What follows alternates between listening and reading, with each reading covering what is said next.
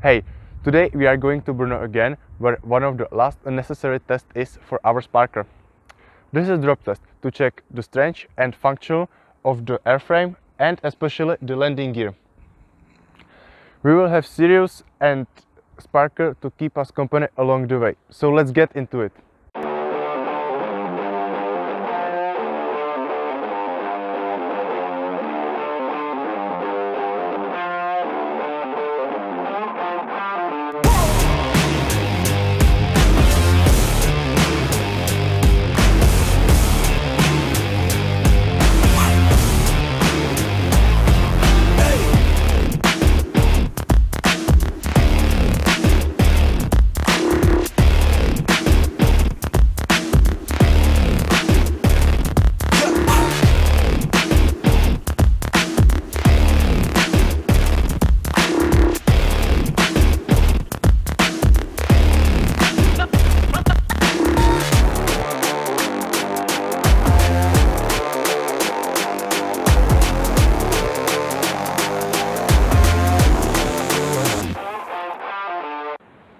We are currently at the University of Technology in Brno.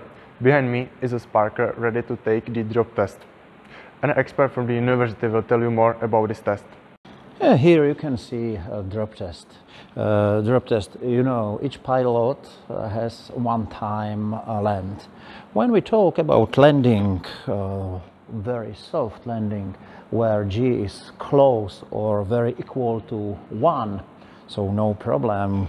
But uh, this uh, drop test shows maximum available watch uh, what uh, aircraft is able to uh, survive, and that's our point. So you can see. Uh, the height of the drop test and we want to this way verify and approve the whole and the maximum conditions.